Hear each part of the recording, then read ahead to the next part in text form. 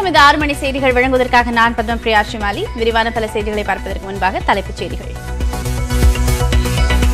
தமிழ்நாடு மாசு கட்டுப்பாட்டு வாரிய தலைவர் வெங்கடாச்சலம் வீட்டில் மேலும் மூன்று கிலோ தங்கம் சிக்கியது. எட்டு கிலோ தங்கம் பதிமூன்றரை லட்சம் ரூபாய் பணம் பத்து கிலோ சந்தன பொருட்கள் நேற்று பறிமுதல். பொருளாதாரத்தில் பின்தங்கியோருக்கு மருத்துவ படிப்பில் பத்து சதவீத இடஒதுக்கீடு வழங்கியது தொடர்பான வழக்கு. தங்களது அனுமதி தேவையில்லை என கூறி சென்னை உயர்நீதிமன்ற உத்தரவை ரத்து செய்தது உச்சநீதிமன்றம். சென்னையில் கல்லூரி மாணவியை குத்திக் கொன்ற காதலனுக்கு பதினைந்து நாட்கள் நீதிமன்ற காவல் தாம்பரம் நீதிமன்றம் உத்தரவு. நில அபகரிப்பில் ஈடுபடும் மக்கள் பிரதிநிதிகளுக்கு எதிராக கடும் நடவடிக்கை எடுக்க வேண்டும். தமிழக அரசுக்கு சென்னை உயர்நீதிமன்றம் உத்தரவு.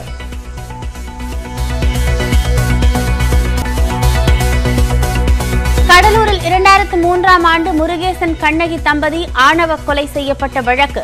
பெண்ணின் அண்ணனுக்கு தூக்கு தண்டனை மேலும் பன்னிரண்டு பேருக்கு ஆயுள் தண்டனை விதித்தது கடலூர் நீதிமன்றம்.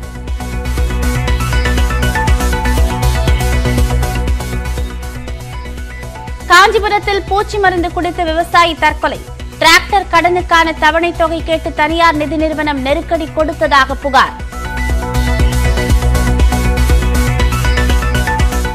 சாத்தூரில் எடப்பாடி பழனிசாமியை வரவேற்கும் போது அதிமுகவினரிடையே மோதல். முன்னாள் அமைச்சர் ராஜேந்திர பாலாஜி உள்ளிட்ட பதினோரு பேர் மீது வழக்கு பதிவு.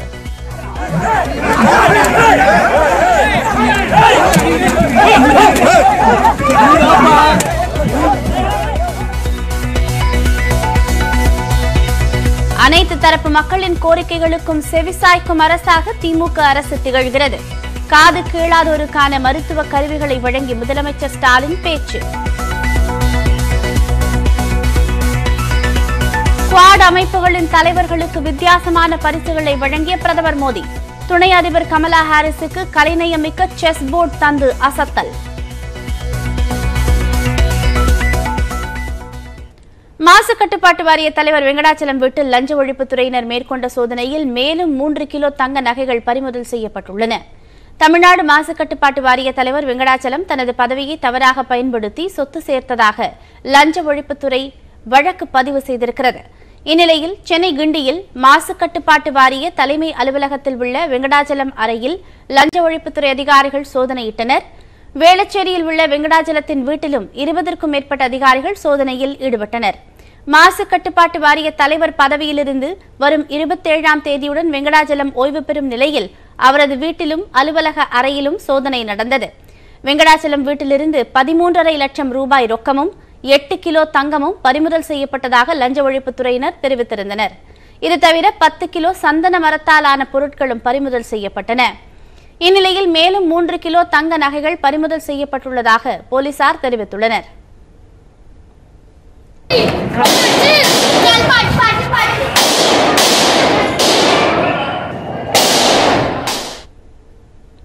டெல்லியில் ரோஹிணி நீதிமன்றத்தில் நடத்தப்பட்ட துப்பாக்கிச் சூட்டில் பிரபல ரவுடி உள்ளிட்ட நான்கு பேர் சுட்டுக் கொல்லப்பட்டனர். பிரபல ரவுடியான ஜெதேந்தர் கோகி விசாரணைக்காக டெல்லியில் உள்ள ரோஹிணி நீதிமன்றத்திற்கு அழைத்து வரப்பட்டார். அப்போது வழக்கறிஞர் உடையில் இருந்த இருவர் ஜிதேந்தரை நோக்கி துப்பாக்கியால் சுட்டனர். மருத்துவமனைக்கு அழைத்துச் செல்லப்பட்ட அவர் உயிரிழந்து விட்டதாக தெரிவிக்கப்பட்டது. போலீசார் நடத்திய தாக்குதலில் மூவர் சுட்டுக் கொல்லப்பட்டனர். முதற்கட்ட விசாரணையில் துப்பாக்கிச்சூடு நடத்தியவர்கள் தில்லு என்பவரின் கூட்டாளி என்பது தெரிய வந்திருக்கிறது. இது இரு குழுக்களுக்கு இடையிலான மோதல் இல்லை என்றும் பழிவாங்க நடைபெற்ற தாக்குதல் என்றும் டெல்லி காவல் ஆணையர் ராகேஷ் அஸ்தானா கூறியிருக்கிறார். மகாராஷ்டிராவின் குற்றத்தடுப்பு சட்டப்பிரிவின் கீழ் கடந்த ஏப்ரல் மாதம் ஜிதேந்தர் சிங்கை டெல்லியில் போலீசார் கைது செய்திருக்கிறார்கள். அவர் மீது பத்தொன்பது கொலை கொள்ளை முயற்சி கடத்தல் வழக்குகள் நிலுவையில் இருக்கின்றன.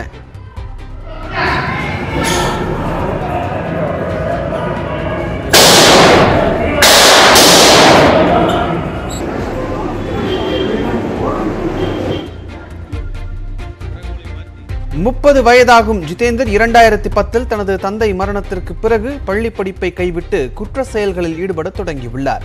முதலில் நிலங்களை ஆக்கிரமிப்பது கட்ட பஞ்சாயத்து என தொடங்கி பின்னர் பிரபல ரவுடியானதாக கூறப்படுகிறது. ரோஹிணியில் உள்ள நீதிமன்ற வளாகத்தில் கடந்த ஐந்து ஆண்டுகளில் நடைபெற்ற நான்காவது துப்பாக்கிச்சூடு என்பதால் நீதிமன்ற ஊழியர்கள் அச்சத்தில் ஆழ்ந்திருக்கிறார்கள்.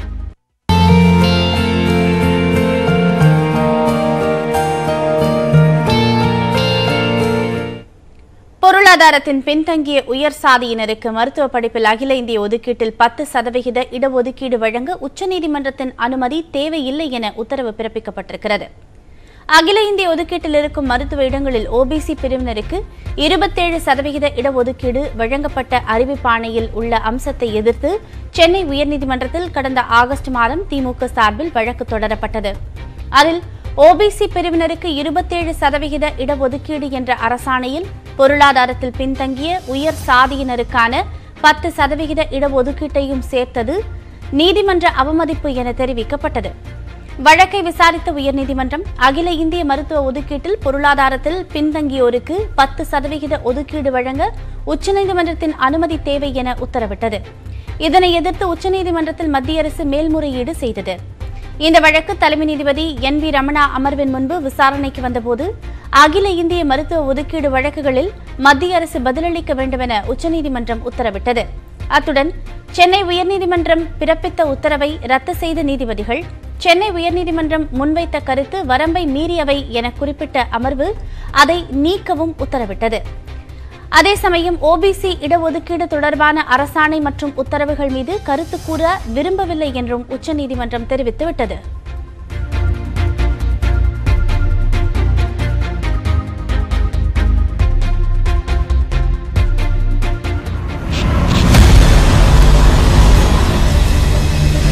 ZPay and News 18 Network present Crypto Simplified. உலகெங்கும் வேகமாக பரவி வரும் கிரிப்டோ கரன்சி பரிவர்த்தனை தொடர்பான செய்திகளை நியூஸ் எயிட்டின் மற்றும் ஜெபே இணைந்து கிரிப்டோ சிம்பிளிஃபைட் என்ற தலைப்பில் வழங்கி வருகிறது. இந்த வாரத்தின் கிரிப்டோ கரன்சி பற்றிய தகவல்களை தற்போது பார்க்கலாம். கிரிப்டோ கரன்சி விற்பனையில் ஈடுபட்டுள்ள காயின் பேஸ்ட் நிறுவனம் ஷிபா இனு எனும் காயினை கடந்த வாரம் விற்பனை செய்ய தொடங்கியது. அந்த நாணயத்தின் மதிப்பு விற்பனை செய்ய தொடங்கியதிலிருந்து முப்பத்தி ஐந்து சதவீதம் வரை அதிகரித்துள்ளதாக மின்ட் வர்த்தக இதழ் தெரிவித்துள்ளது. காயின்பேஸ் டாட் காம் இணையதளம் மற்றும் காயின்பேஸ் மொபைல் செயலியில் கடந்த வாரம் இது சேர்க்கப்பட்டது. இதனிடையே காயின்பேஸ் வாடிக்கையாளர்களுக்கு அதிர்ச்சி தரும் சம்பவமும் நிகழ்ந்துள்ளது. காயின்பேஸ் வாடிக்கையாளர்களின் கணக்குகள் திருடப்பட்டு அவை நூறு முதல் நூற்றி ஐம்பது டாலர்களுக்கு சந்தையில் விற்கப்பட்டுள்ளது. நாஸ்டாக் பங்குச்சந்தையில் பட்டியலிடப்பட்டுள்ள வாடிக்கையாளரின் நம்பிக்கையை பெற்றிருக்கும் நிறுவனமான காயின்பேஸின் தரவுகள் திருடப்பட்டுவது மட்டுமின்றி இமெயில் மூலமாக அந்த நிறுவனத்தை தொடர்பு கொள்வதில் நிலவும் சிக்கலும் வாடிக்கையாளர்களுக்கு கோபத்தை ஏற்படுத்தியுள்ளது. பேபால் நிறுவனம் இங்கிலாந்தில் பிட்காயின் விற்பனையில் கடந்த மாதம் இறங்கியது. அது தற்போது இங்கிலாந்து முழுவதும் அதன் சேவையை விரிவுபடுத்தியுள்ளது. உரிய தகுதிகளை பெற்று தங்களது அனைத்து இங்கிலாந்து வாடிக்கையாளர்களும் பிட்காயின் வர்த்தகத்தில் ஈடுபடலாம் என அதிகாரப்பூர்வமாக அறிவித்துள்ளது. பிட்காயின் மட்டுமின்றி எதீரியம் லைட் காயின் மற்றும் பிட்காயின் கேஷ் ஆகிய நான்கு கிரிப்டோ பரிவர்த்தனைகளில் அவர்கள் ஈடுபடலாம் என்றும் பேபால் தெரிவித்துள்ளது.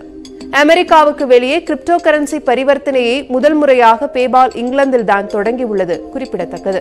இதனிடையே பிட்காயினை உருவாக்கிய கிரிப்டோ துறையின் முன்னோடியான சதோஷி நகமோட்டாவின் வெண்கல சிலை ஹங்கேரி தலைநகர் புத்தபெஸ்டில் திறக்கப்பட்டுள்ளது கெர்ஜாலி ரேகா மற்றும் தமஸ்கில்லி ஆகியோர் இணைந்து இந்த சிலையை உருவாக்கியுள்ளனர் மனது வைத்தால் அனைவரும் சதோஷி நகமோட்டா ஆகலாம் என உணர்த்தும் வகையில் அந்த சிலையில் கண்ணாடி பதிக்கப்பட்டுள்ளது குறிப்பிடத்தக்கது கிரிப்டோ கரன்சி வல்லுநர் விஷாலிடம் கேள்விகளை கேட்கலாம் ஷிபா இனு காயினுக்கு டோஜ் காயின் கில்லர் என ஏன் பெயர் வந்தது डॉजकॉइन और शिबा इनू दोनों what we call joke currencies हैं मीन करेंसीज हैं मीन और मीन कॉइन बोल सकते हैं। तो ये डॉजकॉइन जब शुरू हुआ था तो डॉजकॉइन खुद एक जोक के हिसाब से शुरू हुआ जो बहुत वायरल हो गया।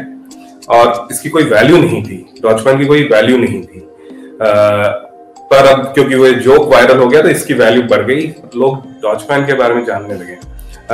लोग मीन करेंसीज के बारे में जानने लगे मीन कॉइन्स के बारे में जानने लगे। एंड इस डॉजकॉइन की पॉपुलैरिटी को शिबा इनू ने कैप्चर किया।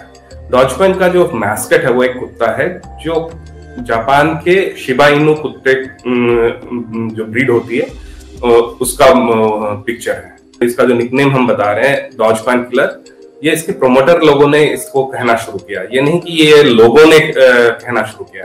इसका मार्केटिंग कैंपेन ही शुरू हुआ कि it's a doge coin killer पर राइट अभी तक तो शिवा इनू ने डॉज कॉइन को कहीं से भी क्रॉस नहीं किया है, कहीं से भी किल नहीं किया है।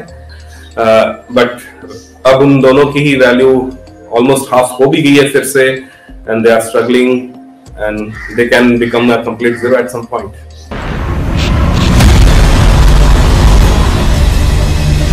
ZPay and News 18 Network present Crypto.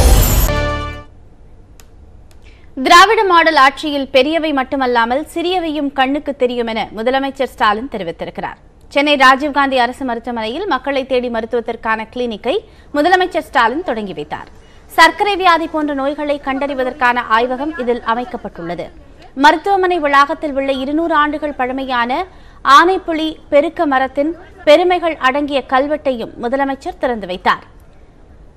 September இருபது முதல் இருபத்தி ஆறு வரை காது கீழாதோர் வாரம் கடைபிடிக்கப்படுவதையொட்டி காது கீழாத மாற்றுத்திறனாளிகளுக்கான நவீன கருவிகளை முதலமைச்சர் ஸ்டாலின் வழங்கினார்.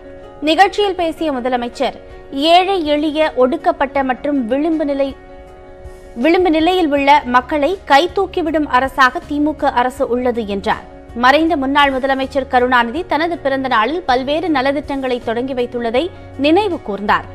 வானளாவிய திட்டங்கள் ஒருபுறம் இருந்தாலும் குடிசைகளை மாற்றி அடுக்குமாடி குடியிருப்புகளை கட்டித்தரவும் அரசு செயல்பட்டு வருவதாக முதலமைச்சர் தெரிவித்தார்.